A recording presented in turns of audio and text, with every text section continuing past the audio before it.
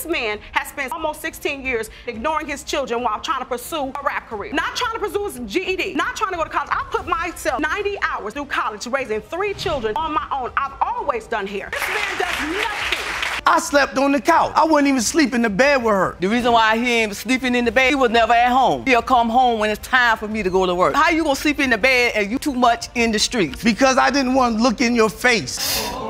I have been homeless because, Because of I can't of the pay, child pay my bills. 66 and a third percent of my check, and I can't pay rent. I can't do nothing. I don't have a life, and I have got the proof of my rares what I'm back owed. Can you believe it? She's never even chatted with him on the phone. Ms. Dennis spills the beans that she has never seen, spoken to, or heard the voice of the dude she thinks is her dad. This bombshell kicks off her epic quest to figure out who her real dad is. Buckle up, because it's about to get even crazier. But you have never seen him. You have never spoken to him. So today will be the very first day you will do that. And I wanted to make sure you were okay and you were prepared. All I've known of him is these pictures that I've had my entire life. These are pictures of my mother and him at their wedding. And so you've had these pictures, but you have not had your biological father. Not one bit. Hold the phone, here's where it gets juicy. Judge Lake rolls out the red carpet with the case of Dennis versus Dennis, where Ms. Dennis is about to eyeball her supposed dad for the first time. The plot thickens as Mr. Dennis throws in a curveball, totally denying he's her biological dad. This drama is heating up, and you'll want to see what's next. Miss Dennis, today will be the very first day you've ever laid eyes on the man you known to be your father. And I just want to make clear that you understand that deny is your biological father. Jerome, at this time, I'd ask that please escort Mr. Dennis into the courtroom so we can begin the proceedings. Wait till you hear this doozy. Mr. Dennis lays down his side of the story, blaming his wife's possible side adventures for his doubts about being the father. His tale is full of suspicions and unresolved drama that makes you want to grab some popcorn. And guess what? It's only going to dive deeper from here. My position is here right now today is to give her closure, being the father or not being the father, which to me, I believe I'm not, because when me and her mother were married, I was a truck driver at the time. On Memorial Day weekend, I was down in Florida. I called her phone. She is out on the lake in the middle of the night by herself on an antique wooden boat with her ex-boyfriend. Check this out. In a plot twist, Mr. Dennis whips out evidence that he's been asking for a DNA test, which he claims got shot down more times than he can count. This stack of paperwork adds a whole layer of frustration and legal shenanigans to his story. Hold on to your seats. The next part is a real kicker. I have requested from her mother, and I have proof for DNA test and everything else that I have been denied by courts from her mother and everybody else. What is this, sir? That is proof of the DNA request that I have requested from the courts. But with her mother denying, I could not get a DNA test. I heard the story, the full story, finally when I was seven or eight years old. You're not going to believe what comes next. Over the phone, Ms. Morau fires back against Mr. Dennis's cheating claims, insisting she was faithful during their marriage. Their stories clash like superheroes in a blockbuster, with each side dishing out their version of the past. As I recall this situation, it was not after we were married that I went on a boat with a friend, and my children were there. They, in fact, he let my daughter drive the boat. He's a good friend of mine. She was He dating was him at the time us- we met. Mr. Dennis, that you cheated with him, She is telling which a led to you story. becoming pregnant. This part is a tearjerker mixed with a facepalm. Mr. Dennis drops a bombshell that he's been slumming it because of the child support for a kid he's not even sure is his. This revelation really shows how messy things have gotten. And just when you thought it couldn't get more tangled, there's more drama ahead. Mr. Dennis, you say you have been denied DNA test that you've needed Yes, ma'am, for 23 something years. years. I have been homeless because, Because of I can't of the pay, child pay court. my bills. 66 and a third percent of my check, and I can't pay rent. I can't do nothing. I don't have a life, and I have got the proof of my rares when I'm back owed. Grab a tissue for this one. Ms. Dennis gets real about how tough it's been growing up fatherless, questioning why her supposed dad never seemed to care. Her emotional unpacking is a gut punch of feels and unanswered questions. Just when you think it's all out on the table, there's a twist coming right up. For a child. My father travels across state lines, drives trucks, makes deliveries, and shows up for a living. But he can't do those things for me. I can understand. That's what she's lived with for 20 something years. Mm. And I know you are being kind, and I know you are reserving a lot of your emotion because you're trying to be strong. Thank you. Here's the big reveal. Get ready to gasp. It has been determined by this court. Mr. Dennis, you are the father. Buckle up, Buttercup! The show kicks off with Ms. Nazarene throwing down the gauntlet at Mr. Rami, blaming him for bailing on dad duties and leaving her and their kiddos in a lurch. She's not holding back, accusing him of ghosting them emotionally and financially. Hang tight because the tea is just starting to spill. Ms. Nazarene, uh, you are here today to sue your ex-boyfriend for being an absentee father and a deadbeat dad. You say he has caused you, and your two children, much pain and suffering by never stepping up as their father. Mr. Rami claimed Ms. Nazarene has done immeasurable to your life and career by her very difficult personality. The gloves are off now. In a fiery exchange, Mr. Rami paints Ms. Nazarene as the queen of drama, irrational, volatile, and a nightmare to chat with. He insists her antics have made his life a roller coaster. But Ms. Nazarene claps back, calling out an incident where she claims Rami swiped $500. What's next? Oh, it's a doozy. Complete irrationality. The decision to be overtly angry, tile, and violent for things that I consider to be then important. Very verbally, physically abusive. Is that true, Ms. No, no, it's absolutely not true. He and I have had one incident where he stole $500 from me and had me and my baby in a car that had a steering column that failed. Just when you thought it was getting spicy, Ms. Nazarene lays into Mr. Rami for chasing dreams of rap stardom instead of job applications, all while she's been hustling through college and solo parenting their trio. Don't wander off. The fireworks are just getting started. This man has spent almost 16 years ignoring his children while trying to pursue a rap career. Not trying to pursue his GED, not trying to go to college. I put myself 90 hours through college raising three children on my own. I've always done here. This man does nothing. The fact that we might have some children together and spend a short period of time enjoying each other's company. Plot twist. The judge jumps in to quiz Mr. Rami about his financial contributions, or the lack thereof. Rami admits he's not the most consistent with the checks, but claims he chips in when he can. Oh, snap. Wait till you hear what comes next. It's a real kicker. First of all, she decided to move to the other side of the country without talking to me. Well, it depends on what steady is. No, I haven't sent aid every two weeks. No, I haven't. But when I've had a job, I have sent help. You Whenever s- she's hit me up for money, if I was able yes, to, yes, absolutely. Hundred dollars. Yes, oh, absolutely. Over the past 17, 16 years, he paid child support when he was with um ex second wife. Hold on to your popcorn. Ms. Nazarene drops a bombshell that Mr. Rami pulled a Houdini for three years while she was beggars and solo with a toddler. The crowd goes wild and the plot thickens. You won't believe what's up next. It's straight up soap opera stuff. Okay, so what, what happened to me being seven months pregnant with a one-year-old and you were gone for three years? Truth be told. There was an incident. I was asked to bring the car to her because she had Messiah with her. Can you bring the car to Tarzan from Los Angeles? I tell her no problem. I would love to do that for you. Actually, what's funny is I'll tell you this story because it's more recent. You'll need to sit down for this one. As they sling text messages at each other like dodgeballs, the tension is palpable. The texts reveal a war of words that's nothing short of a daytime drama spectacle. The next exchange? It's a cliffhanger that'll have you rolling. I ain't downplaying. Not- You trying to make me lose my youth because you're a deadbeat. I'm ready to smash you monsters. Your family does not care about us because we're too black skinned to be a big fat yellow hoe to get love And I mean it. and care. And that's the truth. And I meant every one of them. Weren't they a young person? Did you say 21 years No, old? they were The not first grandchild. You might want to grab more snacks for this part. Judge Lake calls Mr. Rami out for his laid back attitude, which is not winning him any Dad of the Year awards. She doesn't mince words, calling him a loser in hopes of sparking some sense into him. The curtain's about to rise on the grand finale, and it's a showstopper. Ways Mr. making the Romney, arrangements. will sure. you make that effort to see them tomorrow? Yes. Just, I, I don't care if the look. You're a writer, but don't write too on the all text. good. Just Yes, say, tomorrow. just- and then if you could just give him a time, nothing else, and then you just say, "I'll be there," and then I have my hat. Be there. Can you do that? Yeah. Thank you.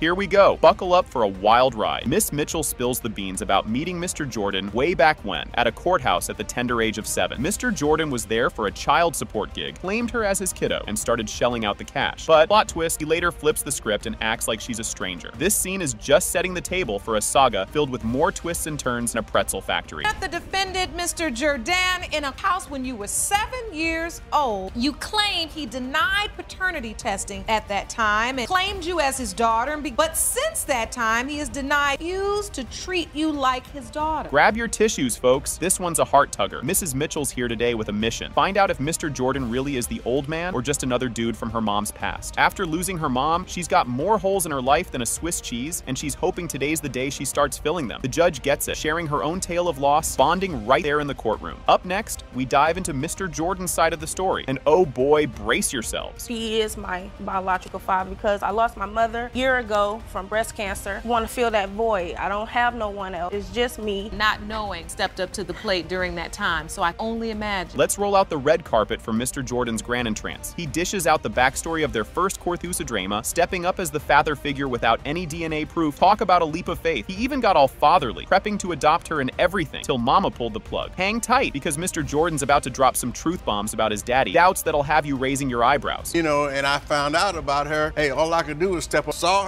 this young lady in the courthouse. I sat down and spoke with her, and I immediately raised my hand and said, hey, that's we don't need a uh, paternity test. And I told her, I say, I'm your daddy, baby, right here. Hold on to your seats. We're diving deep now. Mr. Jordan confesses he's been on the fence about being daddy dearest since day one, thanks to a fleeting fling with Mrs. Mitchell's mom. Despite his suspicions, he tried to bond over brake pads. Yep, you heard that right. Car maintenance is father-daughter bonding. But when those brakes bailed the next day, things went south fast. Stick around to see how this mechanical mishap lays out in court. Blow me off every time. It was like every once or twice a year when he said yeah. Some name them I was trying to teach her how to be self-sufficient. He stood there with me as I was doing my own brake. I left, went to work the next day. My brakes came on on the freeway. Cue the flashback music because we're zipping back to when Mrs. Mitchell was just a seven-year-old in the courtroom. Mr. Jordan played the hero, volunteering to be her dad in front of a judge and all. But fast forward through the years, and it's like he's got amnesia or something, completely bailing on the dad duties. What's next? Watch as Mrs. Mitchell brings out the big guns with some heavy-duty evidence. And a bench, the judge asked me, do you know who your father is? I said, no. That's when he came up and said what he said about, that's when I was like, okay, well, you my dad. So I'm thinking he about to start coming over. I'm about to be with him. I didn't see him for years. Even when my daughter passed away, he didn't call me. I didn't know she was pregnant. Things are getting real now. Mrs. Mitchell is not messing around, pulling out her birth certificate, which is as blank as Mr. Jordan's recent memories of fatherhood. She's laying it all out there, showing just how up in the air everything is about who her real dad might be. Don't go anywhere. The emotional roller coaster is just picking up speed. I don't have his name. Nothing. So you're not listed on the birth certificate, And also, sir. mother even doubted me. When I called trying to talk to, why are you calling my house and that's not your father? But whenever she called me there to help her for whatever the No, reason. that's a lie. Oh boy, grab the popcorn because Mrs. Mitchell is reading a letter to Mr. Jordan that's so loaded with emotion it could burst. She's calling him out for missing in action all these years. And let me tell you, it's more dramatic than a soap opera. As she tears into him, everyone's on the edge of their seats. Next up, we've got a sister showdown that's going to crank up the heat even more. Even using that word brings up an image of pain. Lonely nights and years of, I never did anything to you for you to treat me the way you did over the years. There were times when I called you trying to fight in you, and all you did was laugh like you're doing now. Ding, ding, ding! Here comes the sister fight you've been waiting for. Mrs. Mitchell and Miss Wagner, Mr. Jordan's confirmed daughter, go head to head, airing out all the dirty laundry. This isn't just a spat, it's a full-on sibling rivalry explosion, with accusations and denials flying faster than a gossip at a hair salon. Keep watching because the DNA results are about to drop like a hot potato. Growing up, I'm the first one. So,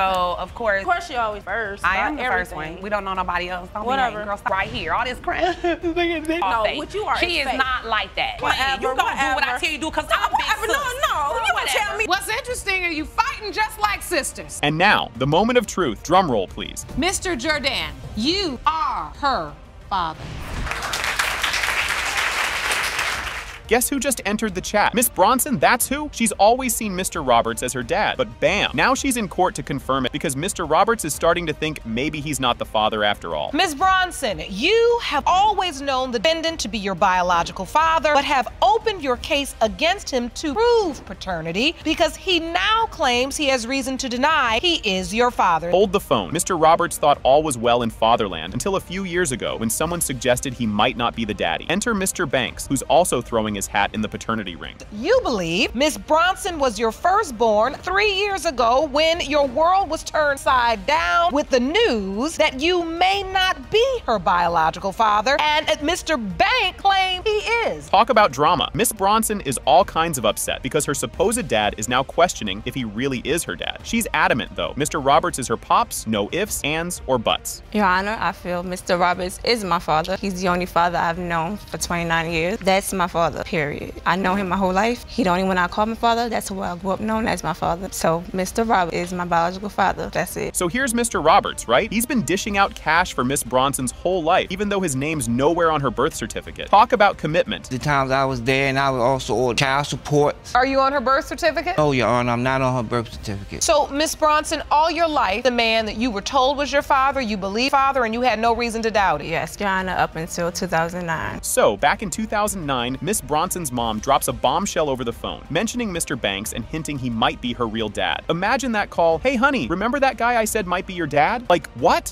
What happened in 2009? I had a phone conversation with my mother. Then she mentioned Mr. Banks, and she said, "Don't you remember the guy that I told you thought he was your father?" When she said that to me, Your Honor, it was a what moment. Like, what are you talking about? She said that he wanted to get in contact with me. I gave her my number to give to him, or she gave me. I can't remember how we actually got in contact. And then I we reached out to one another. Did you know Mr. Banks? You know who he was? No, Your Honor. Imagine chilling out and your fiance comes up and says, Babe, we need to talk. You might not be Miss Bronson's dad. Mr. Roberts probably needed a stiff drink after that chat. Hang tight, it's about to get even wilder. A few years ago, Miss Blair told me that she needed to talk to me about something, and that's when I found out. I was kept in the dark about all this. I never knew anything about Mr. Banks. I also, you know, spent eight months in jail for unpaid child support, $75,000 in arrears. You don't even get a call. Your fiance comes to you and says, Possibility that Jasmine is not my biological daughter. Here comes Mr. Banks with a story about a park meetup ages ago where Miss Bronson's mom hinted that he could be the daddy. And all this based on a family resemblance. Family reunions must be fun with these guys. When did you become aware that you potentially could be Miss Bronson's biological father? I can recall uh, when she was about six or seven, and I ran to her mother, Jasmine, and her sister in the park. Then they, um, she had told me that Jasmine, my daughter, then. Oh,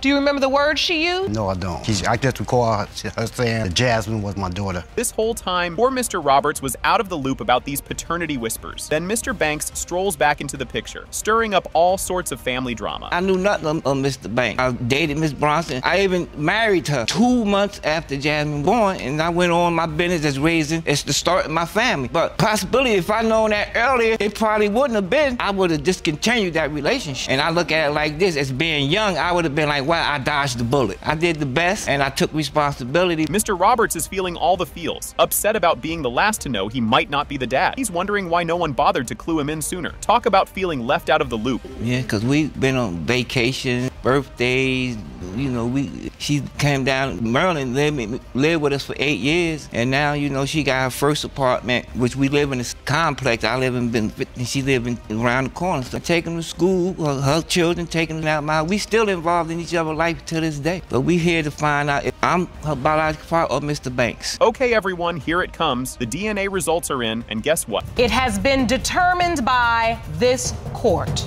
Mr. Robert, you are not the father. Still my daughter. I love you. You're always gonna be my daughter. Here we go, folks. Mr. Redmond is introduced. He asserts that he owes over $10,000 in child support for two daughters, LaQuandria and Keisha Redmond, whom he claims are not his. This sets the stage for the court case, highlighting the central conflict over paternity and financial responsibilities. Mr. Redmond, you currently owe more than $1,000 in child support for the defendant's two teenage daughters, LaQuandria Redmond and Kaisha Redmond, who you say are not yours. Ms. Patterson, you say you are 100% certain that both girls are his daughters and you cannot wait to prove the truth. Get a load of this. Mr. Redmond talks about his time in the slammer because of the child support debacle, emphasizing the hefty consequences he's faced. He whips out some paperwork to show Judge Lake, proving the mountain of cash he owes, and dives into the legal muddles that have turned his life upside down. But hang on, the soap opera's just getting started. Over 19 years, I've been taking care of these kids, Your Honor. I've been going to jail, and I know for a fact that these kids aren't mine. I've gone to jail because I owe more than $10,000. What is that, sir? This is a, some from the courts where I owe over $10,000 in child support. Pay. Let me see that paperwork, Drew. You all are married. No, ma'am. You're not married. Divorced. Divorced now. You're not gonna believe this bit. Marshall steps up with some juicy evidence that hints at Ms. Patterson's possible infidelity. This includes a rather compromising scenario with Ms. Patterson and another dude, which Mr. Redmond caught with his own eyes, fueling his doubts about being the daddy. Buckle up because it's about to get even juicier. Your Honor, as you can plainly see, her and her friend was in the bathroom, and he had his pants down. That what? is a lie. To the bathroom, Your Honor. His pants was down, and he quickly tried to pull them up. What? Yes, Your Honor. You all were dating? Yes, Your Honor. You're saying that's not true? That's not true. Oh boy, here's a twist. Mr. Marshall spills the beans about catching Ms. Patterson in bed with another man at her workplace. This bombshell adds a whole new level of drama and complicates the story about Ms. Patterson's loyalty. You'll want to stick around because the next part is a doozy. What is this? I went to Miss Patterson's workplace, but at this point in time, at her job. The front people told me where she was at, how to find her location. I went back there, find the location that they told me to go. Miss Patterson in the bed with another man on top of the man. Really? So this is you observing? Yes, ma'am. Guess what's next? The spotlight swings to Kashia as Mr. Redmond questions if he's really her pops too. He describes how frosty things got at home, including opting for the couch instead of the bed, which he reckons supports his claim of not being the father. Just when you think it can't get more tangled. I was so furious with Miss Patterson when we left her hometown. I slept on the couch. I wouldn't even sleep in the bed with her. The reason why he ain't sleeping in the bed, he was never at home. He'll come home when it's time for me to go to work. How you gonna sleep in the bed and you too much in the streets? Because I didn't want to look in your face. Now, this is heart wrenching, but kinda sweet. Kayashia and Lequandria Redmond step into the courtroom, sharing their feelings about Mr. Redmond, who they've been told is their father all along. Their emotional accounts shed light on how this paternity mess has affected them personally, and how they feel about Mr. Redmond's dad skills, or lack thereof. But don't go anywhere. The emotional roller coaster is about to hit a big drop. Even as children, you all don't remember? When I was always taken to go to his mother's house, because he didn't have a house. He's always in and out of my life. He never done anything for me. And that hurts you? I mean, it did, but then I had to realize again that has it hurt you? When we was homeless and we had nothing, we called him and he never gave us nothing, asked for money or anything. And now, a moment of truth. Drum roll, please. It has been determined by this court, Mr. Redmond, you are the father. We both look alike. All right, strap in, folks. The court kicks off with Mr. Poravecchio tossing a bombshell right out the gate. He's accusing Ms. Touche and her daughter, Ms. Lutz, of pocketing a cool $150,000 from his dad's death settlement by pretending Ms. Lutz is his sassis. He's pretty sure she's not, and that Ms. Touche has been playing the long con to snag that inheritance. Let's see how this wild ride unfolds. Mr. Poravecchio, you claim that the defendants, Ms. Touche and her daughter, Ms. Lutz, fraudulently received $150,000 in settlement money from the death of your father, Ricky Poravecchio Sr. Cause Miss Lutz is not your biological sister, and her mother covered up that fact. Hold on to your popcorn. Mr. Poravecchio dives deeper into the soap opera that is his family's drama. He details how his dad met his watery end while working on a tugboat and how it was all written off as an accident. But there's a twist. He's not buying the whole happy family picture and insists on a DNA test to prove his point. Buckle up because there's more juicy drama ahead. Mr. Poravecchio, how have you and your family been defrauded by the defendant? My father was on a tugboat working and he drowned. Accidental death is what it said on his death certificate.